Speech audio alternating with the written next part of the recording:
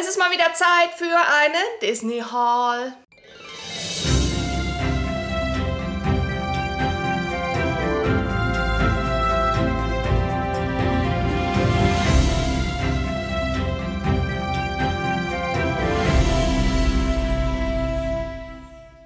Hallo meine Lieben, schön, dass ihr wieder eingeschaltet habt zu einem neuen Video hier auf meinem YouTube-Kanal und zum April-Haul.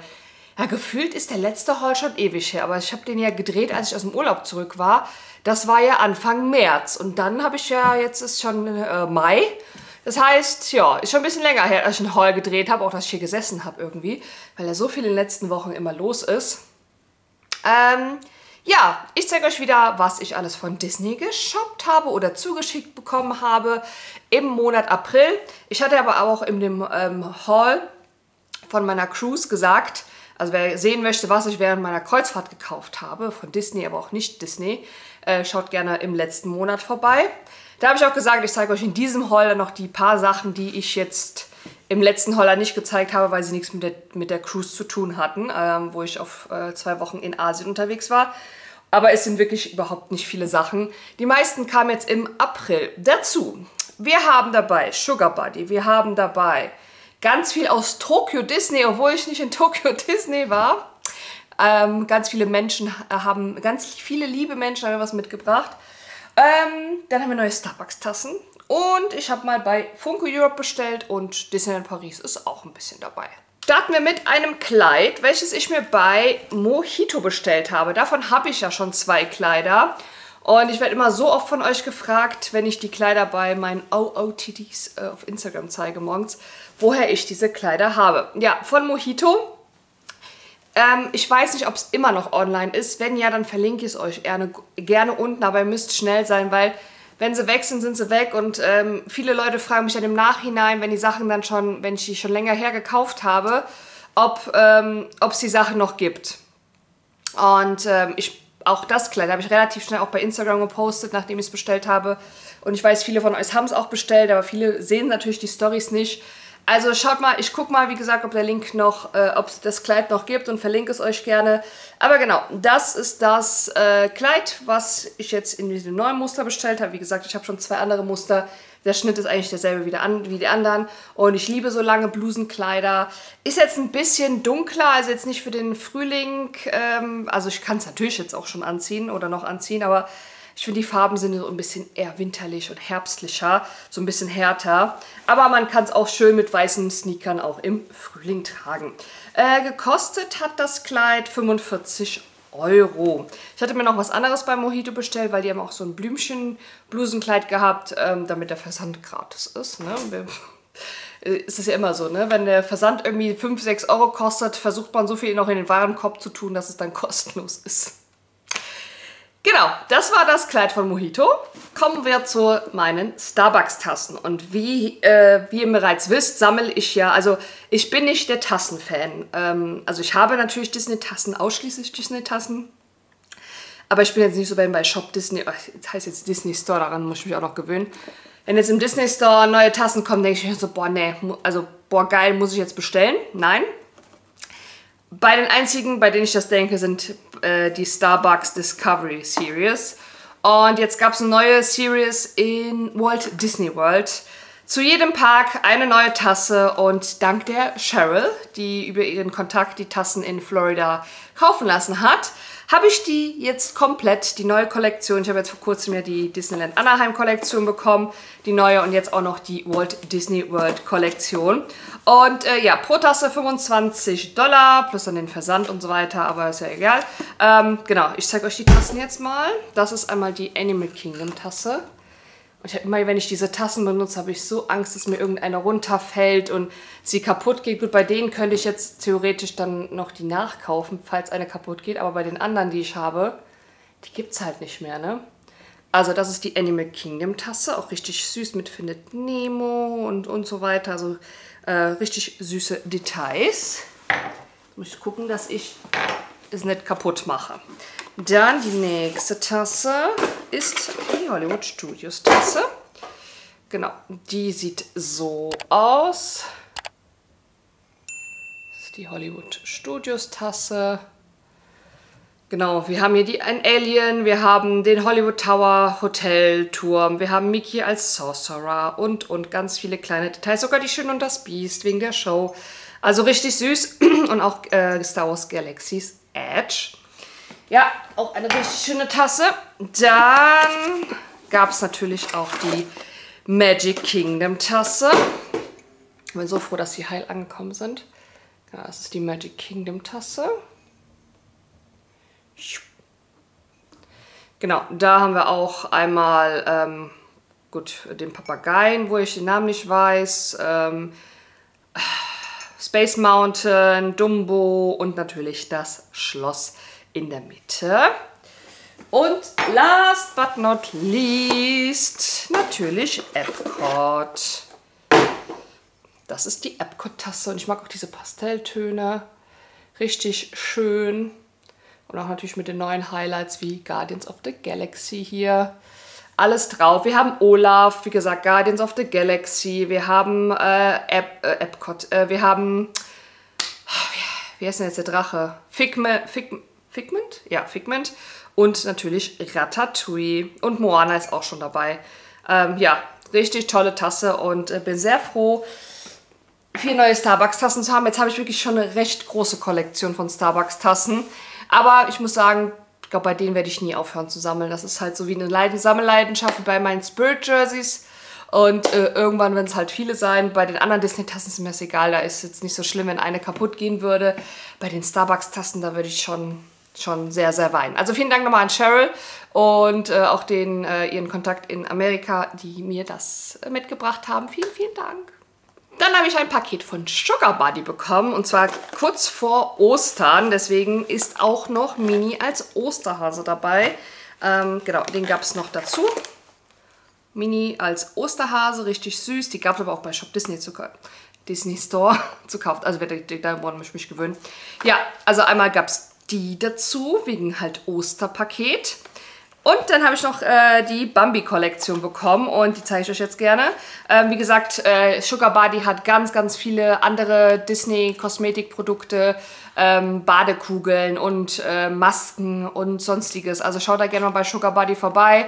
Ähm, ich glaube, in letzter Zeit hatten sie eine Winnie-Pooh-Kollektion, eine ähm, Grogu-Kollektion und, und, und. Und wie gesagt, jetzt auch die Bambi-Kollektion. Also wenn ihr da auch Geschenkideen jetzt sucht für kommt das, das schafft ihr noch wahrscheinlich. Muttertag zum Beispiel ist ja jetzt am 12. Mai. Oder äh, ja, irgendwelche Geburtstage, Weihnachten ist ja auch irgendwann mal wieder. Dann äh, sind da, glaube ich, äh, sehr schöne Geschenkideen dabei.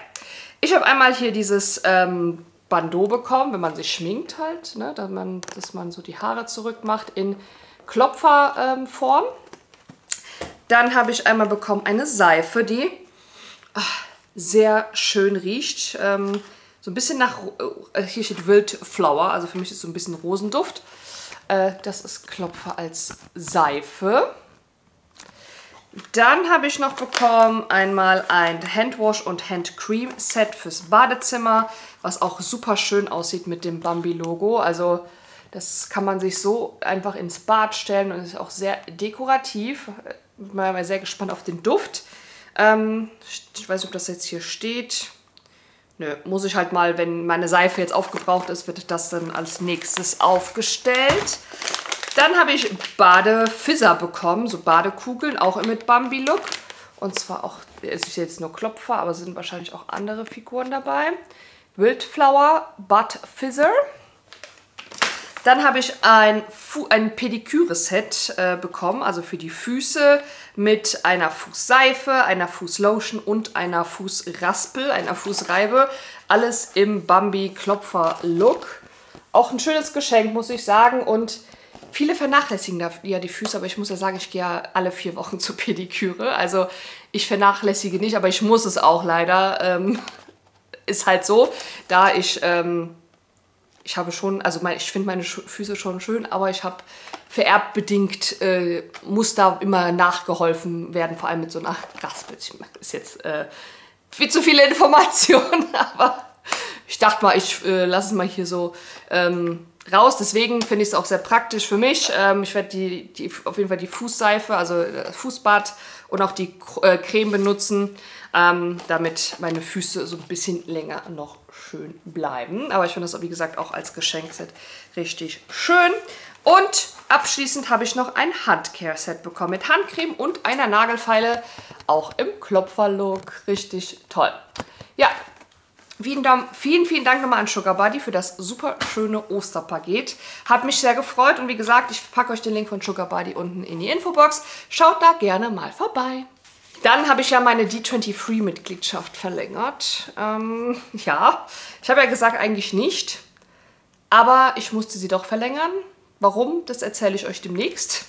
Ähm, und deswegen habe ich jetzt auch einen neuen Magnet bekommen für die neue Mitgliedschaft ähm, D23 Gold Member und D23 feiert dieses Jahr seinen 15. Geburtstag. Schaut mal da das Logo.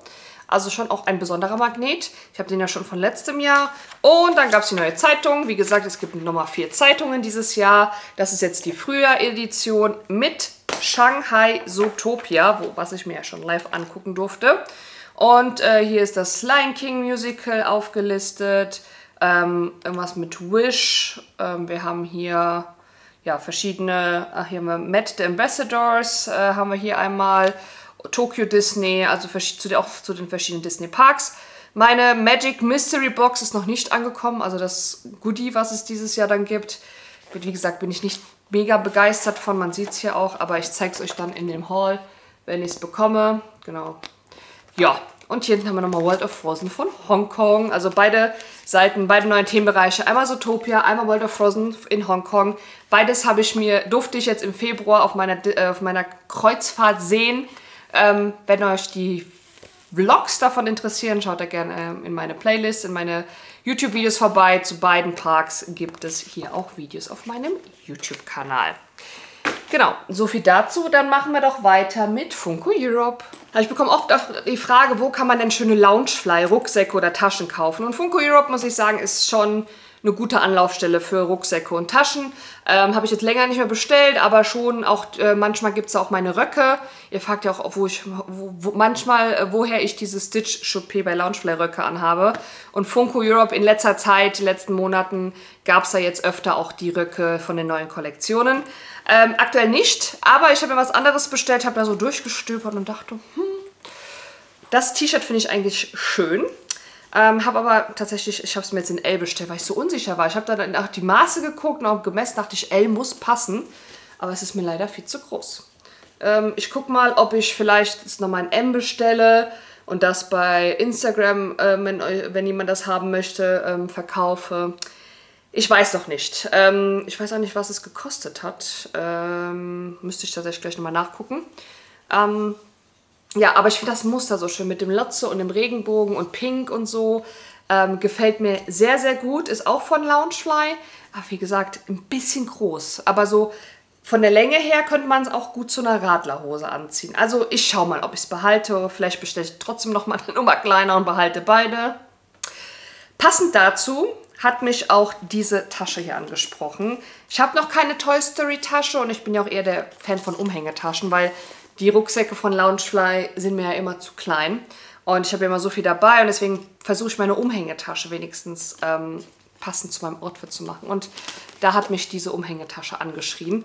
Von Lotso, weil erstmal Toy Story Tasche habe ich noch nicht. Und die fand ich so schön, auch zu dem T-Shirt. Und ich habe ja auch schon ein paar Toy Story Sachen. Dachte ich, komm, die kaufst du dir, weil die hat auch eine super perfekte Größe. Schaut euch die Größe mal an. Da passt äh, ganz viel rein, da passt mein Kameraequipment, also wenn ich die, nur mit der Osmo zum Beispiel unterwegs bin, passt da super rein. Hier ist noch das Papier drin. Sie hat natürlich auch einen langen Gurt dabei, da sieht man hier. Und auch das Muster innen drin, das muss ich euch noch zeigen, wenn ich das Papier jetzt mal raushole, hat das Muster des T-Shirts. Schaut mal. Riecht das? Oder bilde ich mir das so ein? Wäre. Ja, und sie hat, wie gesagt, vorne noch eine Tasche. Man kann die aber auch abklipsen und irgendwie die Tasche dann hier abmachen. Also man kann die hier irgendwie rausziehen. Ah, gut, da steht auch hinten noch was drauf. Also, wie gesagt, man kann die Tasche auch abziehen. Dann hat man hier so eine kleine Tasche. Da steht Sunnyside Daycare und dann würde die Tasche so aussehen. Aber ich finde es mit der vorderen, mit der Vordertasche, achso, man kann das aber dann drehen, ne? was man gerade möchte. Möchte man die Erdbeere, möchte man den Regenbogen. Also finde ich echt richtig süß. Wie gesagt, ich gucke gleich, was sie gekostet haben, aber ich glaube, die waren 80 Euro. Ähm, was steht hier? I'm scented. Also doch, so ein bisschen leichter äh, Duft äh, ist da, aber nicht wirklich viel. Also so ein leichter Hauch von, von einem angenehmen Duft.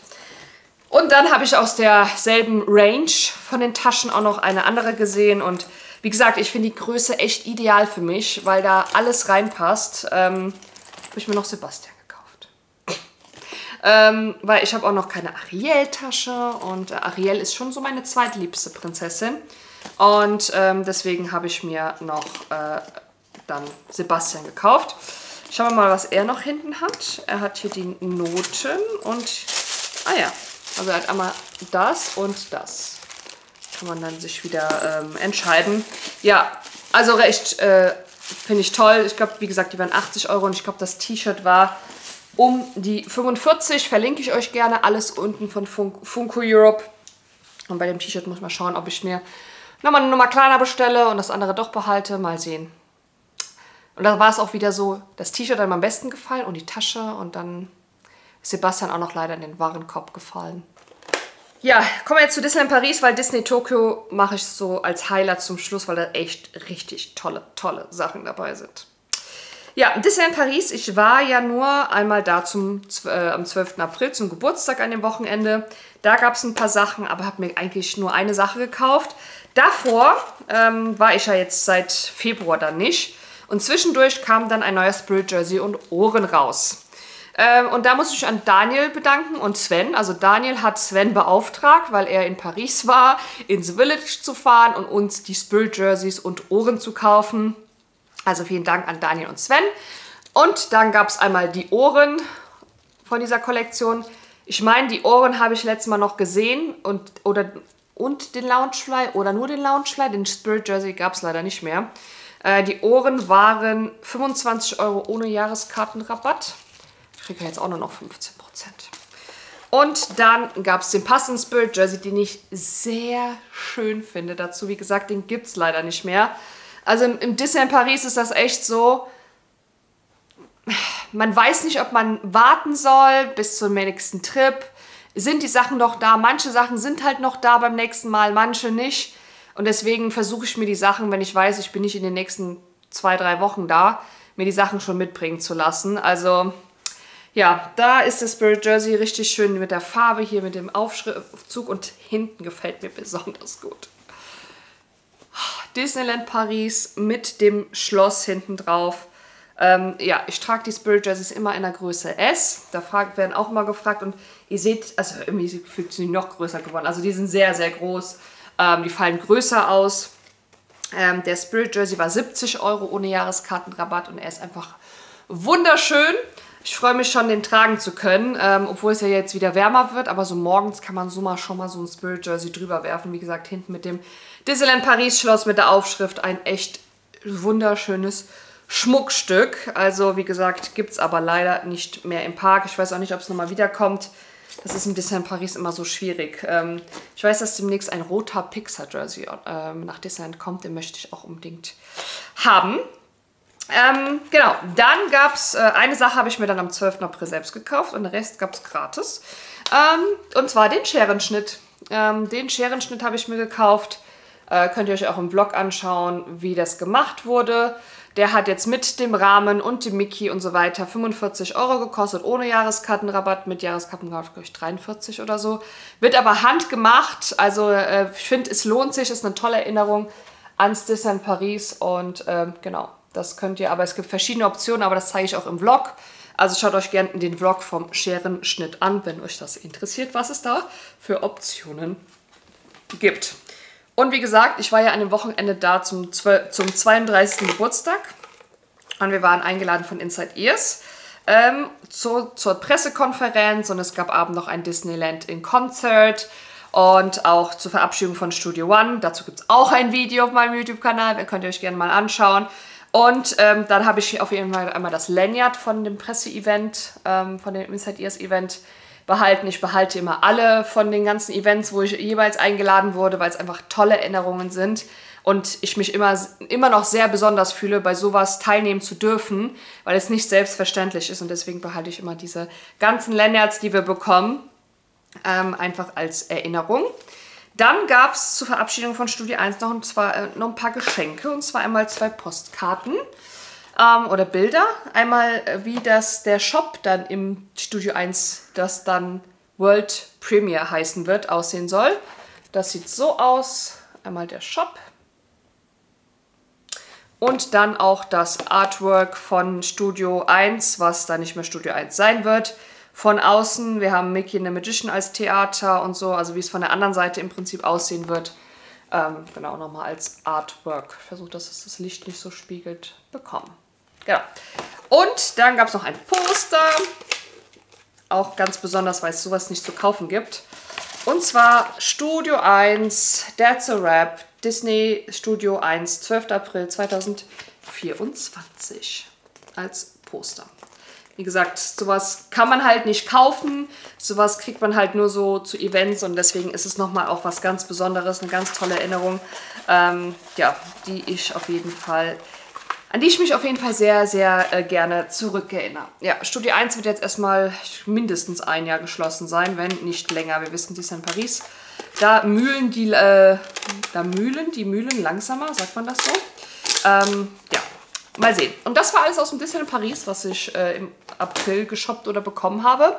Und jetzt kommen wir zu meinen Highlights. Disneyland oder Disney Tokyo. Eine mit den ältesten Sachen. Und zwar, die hab, habt ihr wahrscheinlich, also wenn ihr meine Shanghai-Vlogs gesehen habt, habt ihr die Sachen auch schon gesehen, die ich getragen habe. Weil wir haben sie schon im Januar mit Cheryl bestellt damals und ihrer Mutter.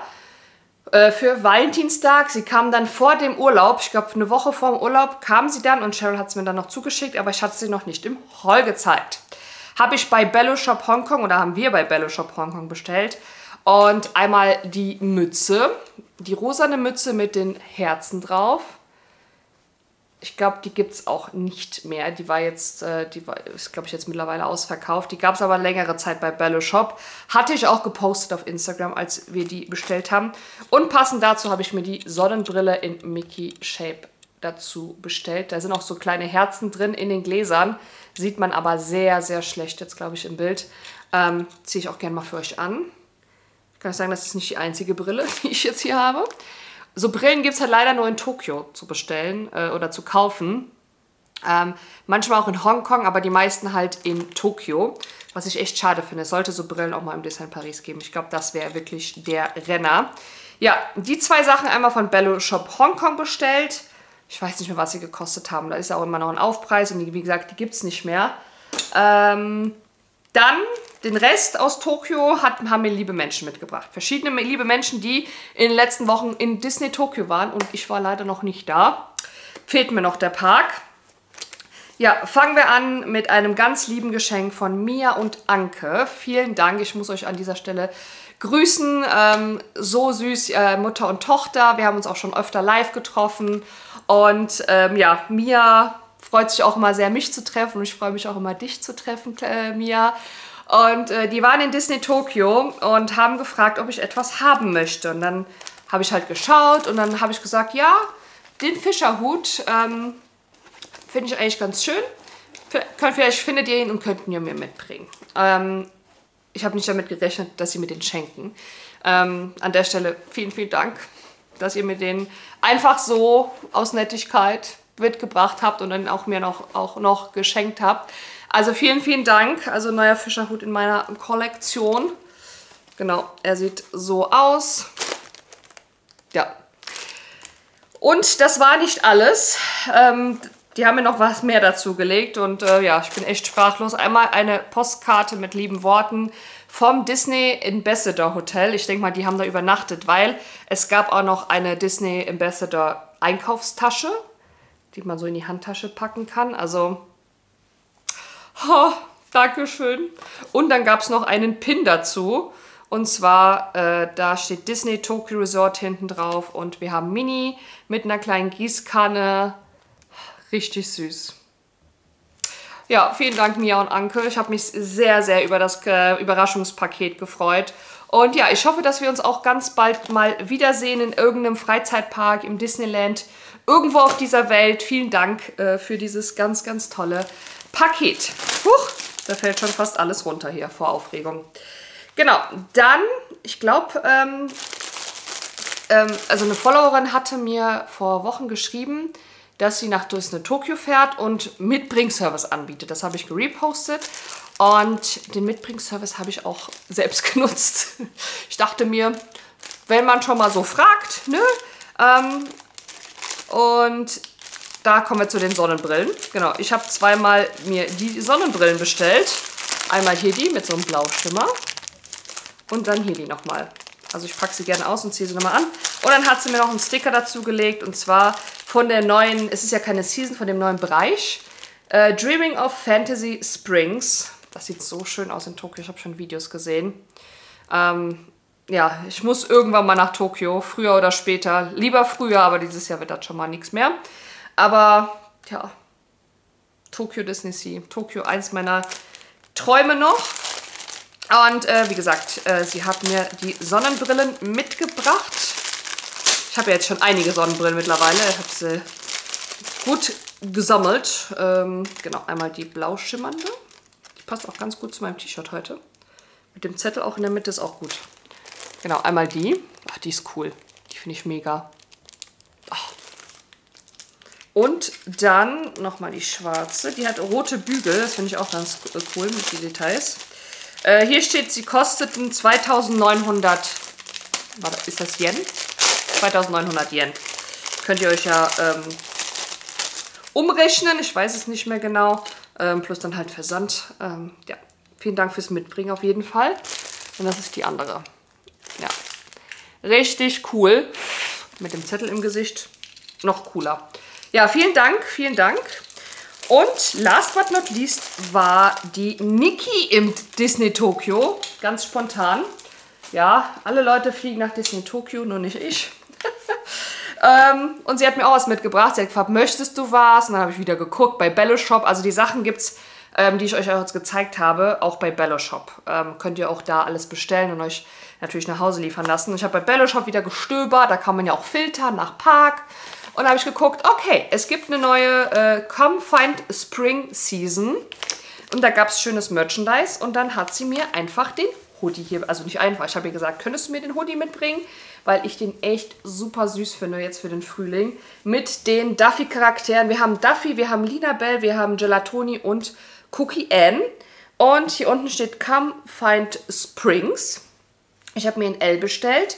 Ähm, der sieht super, also der ist super bequem, äh, fällt ganz normal aus. Da fragen ja auch viele, wie fallen die Größen in Asien aus. Ich finde ganz normal, ähm, außer halt beim Spirit Jersey, aber sonst so Hoodies und T-Shirts ganz normal. Ähm, ja, man muss auch immer gucken, ist es Unisex, ist es für Männer, ist es für Frauen, weil Frauengrößen, also Frauen, wenn es ein Frauen-T-Shirt ist, ist es meistens ja taillierter. Ähm, wenn es ein Männer-T-Shirt oder Unisex ist, würde ich den nur mal kleiner bestellen. Ja, auf jeden Fall gab es den Hoodie und dazu dann noch eine Einkaufstasche mit der Season drauf, die ich auch total süß finde. Schaut doch mal. Come find Spring mit den Charakteren drauf. Follow the butterflies to discover your secret Spring Surprise. Ja, ich glaube, ich habe ihr 50 Euro jetzt mit äh, Versand überwiesen. War ungefähr 50 Euro. Ähm, ja, vielen Dank an der Stelle auch nochmal fürs Mitbringen. Ja, das war's. Das waren alle schönen Sachen, die ich von Disney geshoppt habe im Monat April. Und schreibt mir gerne unten in die Kommentare, was euch am besten gefallen hat. Und ich hoffe, das Video hat euch gefallen. Wenn es euch gefallen hat, lasst bitte einen Daumen nach oben da, abonniert den Kanal, drückt auf die Glocke und dann sehen wir uns ganz bald wieder. Ciao.